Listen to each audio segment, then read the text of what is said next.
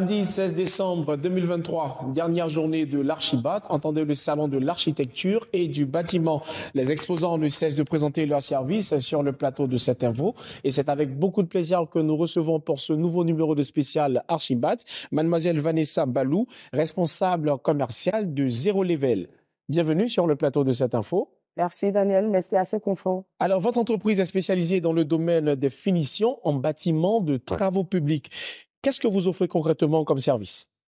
Alors, ce que nous offrons concrètement comme service, la menuiserie bois, la menuiserie aluminium et vitrerie, la peinture, le placo et le PVC. Et c'est quelque chose que vous confectionnez vous-même? Alors, Zero Level est doté d'un atelier de confection et de fabrication euh, pour le bois et la et la vitrerie, ici en Côte d'Ivoire, à Abidjan. Où précisément? À Cocody, à Faya derrière le supermarché Pompe. Alors, d'après ce conseil, vous vous êtes donné pour mission de fournir des services de qualité répondant aux attentes euh, des clients. Qu'est-ce qui fait la particularité de vos techniciens sur le terrain? Alors, la particularité de nos techniciens sur le terrain, c'est qu'ils sont qualifiés et ils essayent de réaliser euh, les envies du client. C'est-à-dire, ils réalisent le choix du client. Alors, on va dire que je suis un client intéressé par vos services. C'est quoi les étapes à fournir pour bénéficier de ces services en question? Alors, les étapes à fournir sont simples. Euh, dès que vous finissez votre grosse œuvre, après le crépissage, vous contactez Zero Level.